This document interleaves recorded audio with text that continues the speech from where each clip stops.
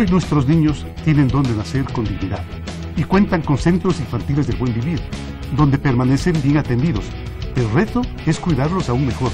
Por eso propongo la misión Ternura, para que todo niño sea protegido desde la concepción hasta sus primeros mil días de vida que son determinantes para su futuro. Lenin presidente. Vota todo 35.